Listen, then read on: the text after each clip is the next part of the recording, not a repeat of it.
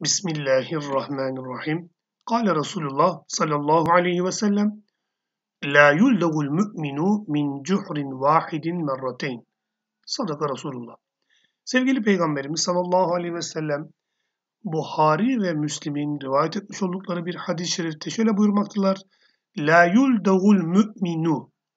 Müslüman mümin ısırılmaz, sokulmaz. Min cuhrin vahidin bir delikten, bir yılan deliğinden merrateyni iki kez sokulmaz. Evet.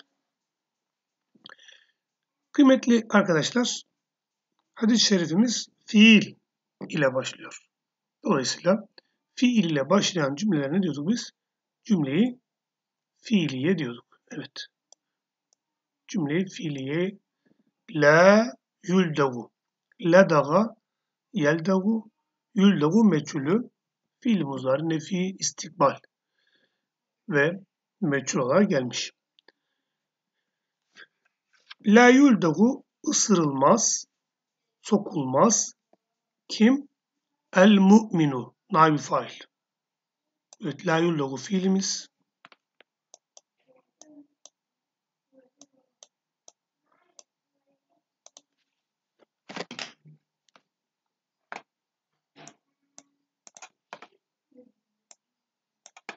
Yalnız meçhul fiil. El müminu naib fail.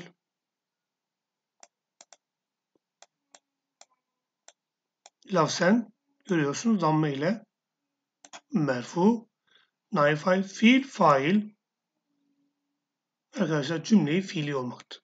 Cümleyi fiili. Evet. Min harfi cer cuhrin Lafzen kesra ile mecrur. Minin mecruru, car mecrur beraber. La yuldagunun mef'ulun bir gayri sarihidir. Evet. Vahidin lafzen yine kesra ile mecrur. Arkadaşlar sıfattır. Neyin sıfatı? Cuhri'nin. Yani delik demek, yılan deli demek. Aynı zamanda mefsuf olmuş oluyor cuhrin vahidine sıfat olmuş oluyor. Evet. Nasıl ısırılmaz? Burada merrateyni de arkadaşlar mefulü mutlak. Evet. Yani burada mahsuf bir mastarımız var. Bu mahsuf mastarın sıfat olarak gelmiş. Ve o mahsuf mastar gidince mastar yerine geçerek iki kez manasını evet gelerek burada mefulü mutlak meful mutlak merra burada adet ifade eden mefulü mutlak olmuştur. Ve arkadaşlar la yuldagu fiilinin lafzen ya ile mensup olarak mefulü mutlağa olmuştur diyoruz. Evet, tekrar mana verelim. La yuldagu ısırılmaz, sokulmaz. Kim? El mu'minu mümin.